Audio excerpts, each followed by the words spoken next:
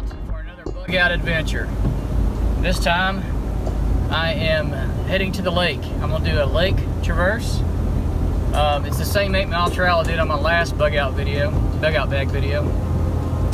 Um, I'm doing this solo and I have a survival um, watercraft or flotation device. It's an inner tube and a pack paddle and I'm gonna use it to carry me and my stuff across the lake, uh, cutting off six miles uh, of the trail and uh, end up back at my usual bug out camp.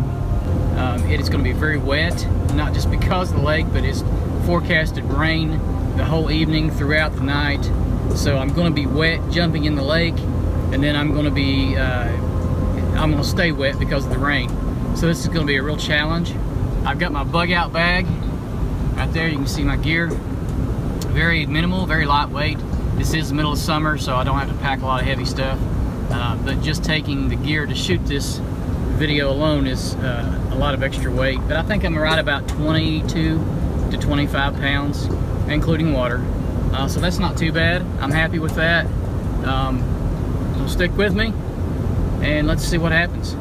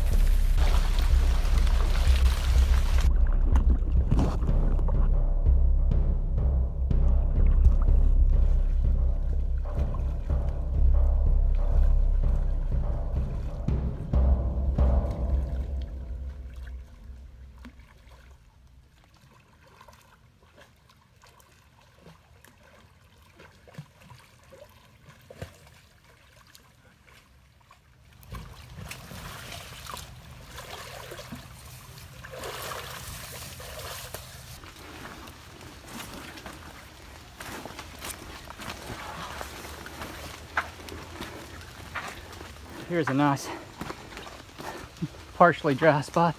Oh wait, there's an overhang. Let's go to it.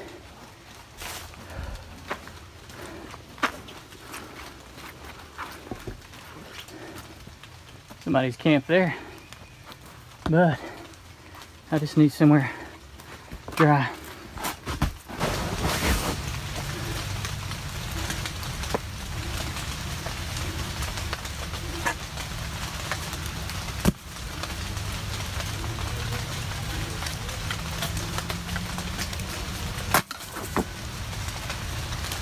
And notice I had my pack on.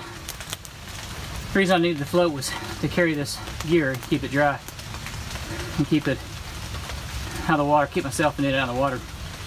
Uh, I did not tighten it up, so if something went wrong, terribly wrong, I could bail out of it, lose my gear, but uh, I didn't see that happening.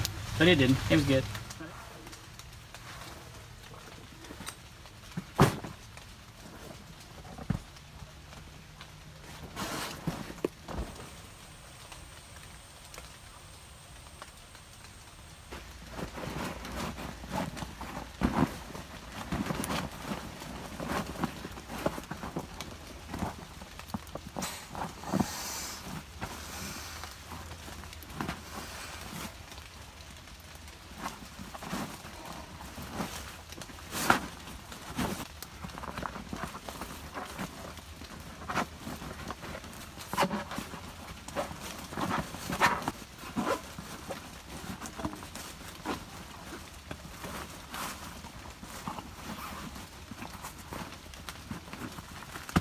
I got a new bag. This is a Midway, about 40 liters. Not bad. And that is my new Boba Fett patch that my friend Kenny from KBB Jedi gave me.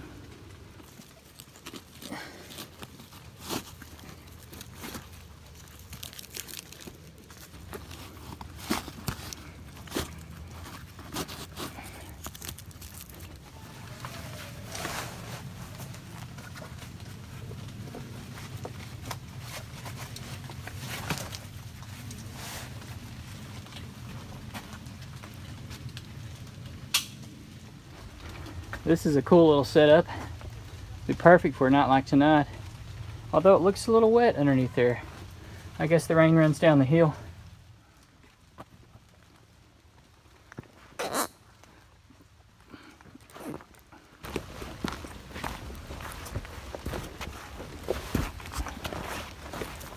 My pants are wet and cold. I'm gonna have to get to camp and get a fire going.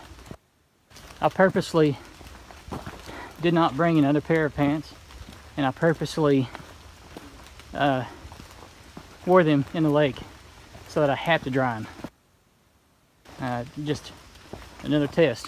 Just one trying to test myself and see what I can do.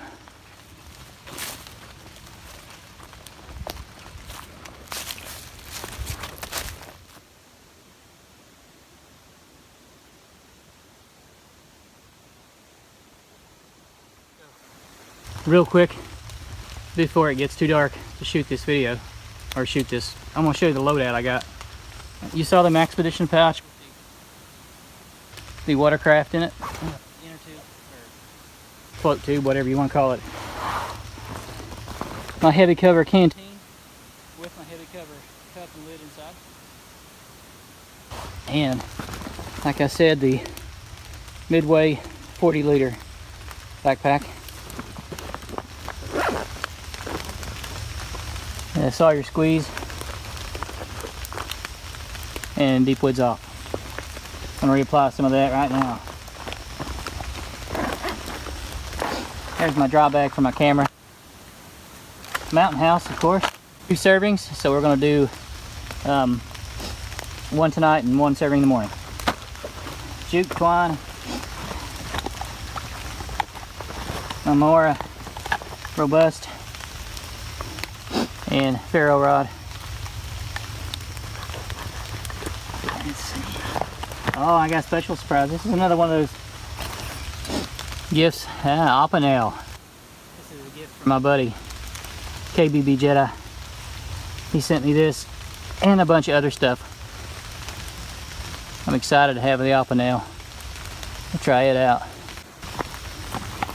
And Toaks Spork some more cordage. Like I said, it's pretty lightweight. I didn't pack a whole lot. This is just a just a quick bug out bag I had ready. And honestly, I went on in last moment's notice. A lot of stuff was going on with family and I didn't think I was going to have a chance to, to get out. But I always have my gear packed, ready to go. All right, the main compartment.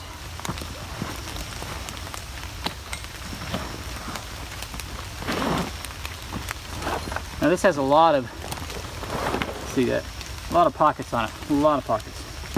But I had to put everything in uh, dry containers, you know, to see if it was going to be. This pack basically, actually it stayed dry inside. There's another one. It's got my, my uh, survival kit, batteries for my charging for my phone because that's what I'm using to shoot video, and the stove, everything I, I, need to keep dry. I need to keep this stuff dry. There's that. There's that. And then the big dry bag. I had all my extra clothes, like socks and underwear.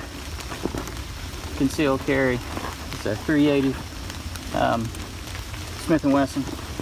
Well, M&P 380 Bodyguard. Back with the free solder. I'm gonna put it up first. And as I go through here, I don't want to get it all out because I want to get it all wet. Let's put up the tarp and get this under cover and then we'll shoot some more video. So I don't want to get everything wet. So what we'll do is we'll set up the tarp next and then I'll show you what the rest of the contents of the dry bag. That way we can do it under shelter. And oh yeah, my neck knife. That's another, this is another part of the, um, I'm gonna put up a picture, aren't I? So here it goes. Here's the picture of everything Kenny sent me. Um, follow his Instagram. Look at all that stuff. It's awesome. If you don't follow him on Instagram, he is top notch. His Instagram is just, it's awesome. I love it. I, I love Instagram too. I do a lot of stuff on Instagram when I can't do YouTube. It has just been, it's been one crazy summer. So that's why I haven't done a whole lot of videos this year. Uh, maybe next year, hopefully next year, we'll do a lot more. I'm hoping to really um, take it to the next level. So, thanks for watching. I always appreciate my viewers and my comments and my thumbs up. Don't forget to like. I'm gonna set you down. I'll set you down here and then we'll set up the tarp.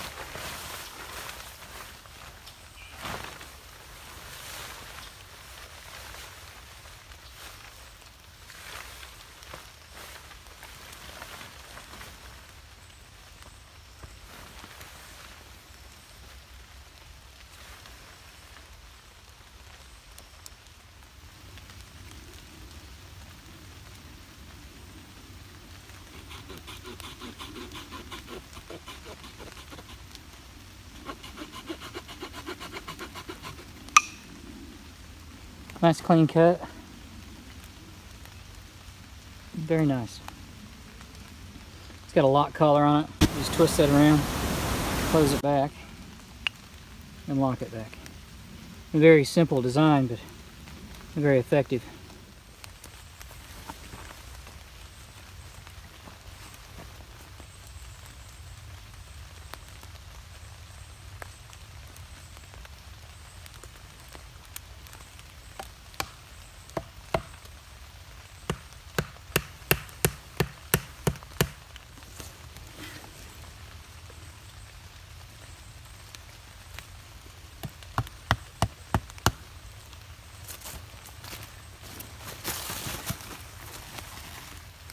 Some of you may have noticed uh, I've got my neck knife backwards. I was afraid I didn't want to lose it in the lake, but I just tied a real loose knot, square knot, and I'm gonna tie that and put it around. I'll tie it and put it around the uh, the sheath like it's supposed to go. That way you can take the knife out when you need it. I don't know if you guys noticed that or not, but some of you may have. So before you leave a comment, a nastygram, you're wearing your knife wrong. I know. I'm fixing it now. I guess you can really wear it any way you you want to, but this is the way it's supposed to go. Or at least that's my understanding. I guess when you're out here in the woods doing bushcraft and survival, this is more survival type stuff, but when you're out here doing this, there's really no wrong way to do it unless you screw up and it doesn't work. But if it's working, who cares, right? And if you're having fun, this is one of those condor neck knives. Neck knife. It's pretty cool. Hmm. It's good for cutting cordage and stuff like that.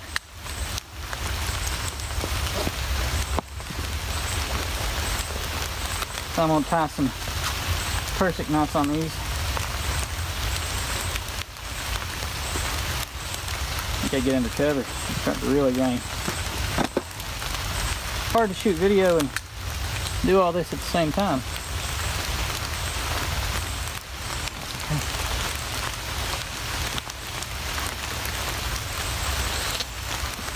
Starting to lose my light for videoing.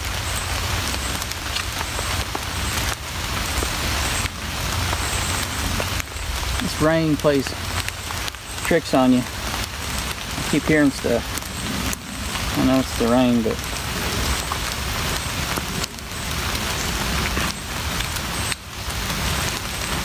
I mean, I'm not worried about it. I just don't want to be. There's a lot of people out today, and I don't want to be sneaking up on them.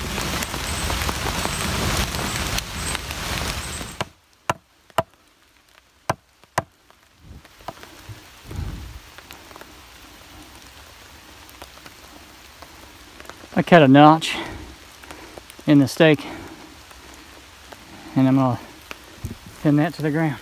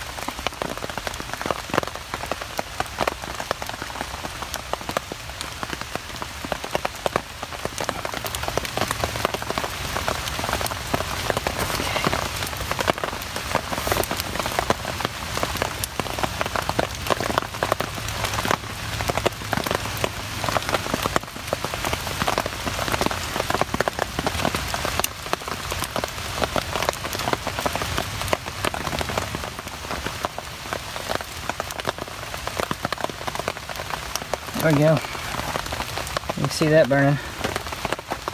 Took a while.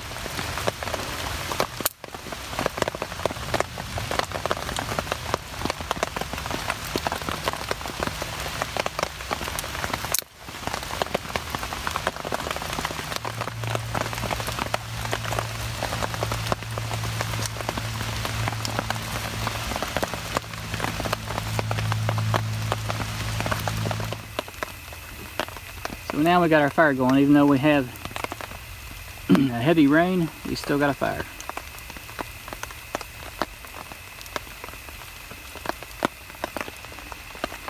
There's our rain collector.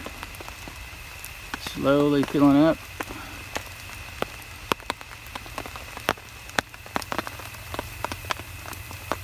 Alright, let me show you what's in the uh, rest of the bag here. I promised you I'd show you.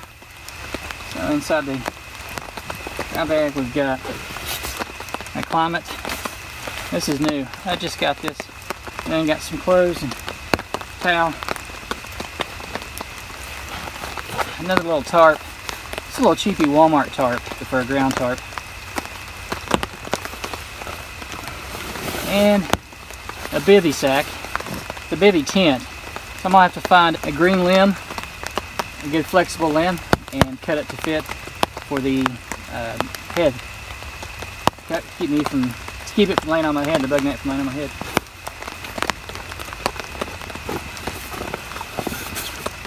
And my reactor, Thermolite, uh, Sea to Summit, and my pillow. That's it, and that, that's what was in the dry bag. And as you can see, it really did keep everything dry. That big water, that big water traverse, managed to stay dry, or my gear managed to stay dry. Even the backpack, inside the backpack, stayed dry. I was pretty impressed with that.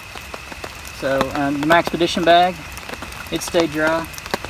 Yeah, I'm happy. It's pretty cool for crossing a lake or crossing a creek or um, any kind of water that you know that you can keep your your stuff dry. Now I just got to dry off my pants.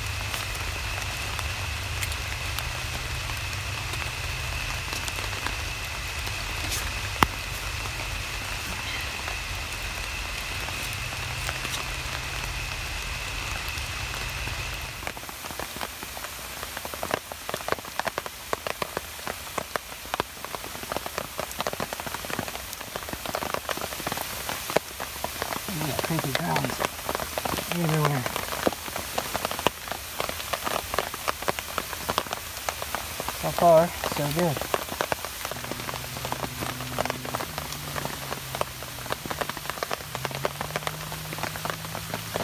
There it is.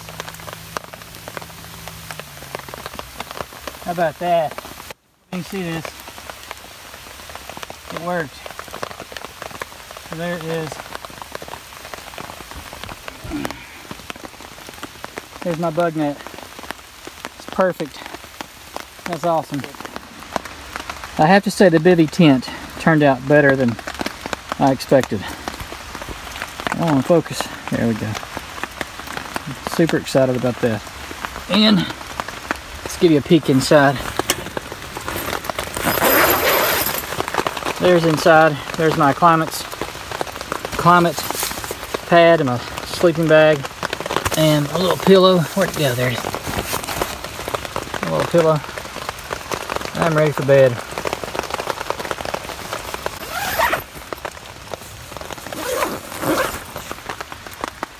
But it's very, very cozy. And that little fire is actually putting off some heat. Dry my hat, I'm gonna dry my pants.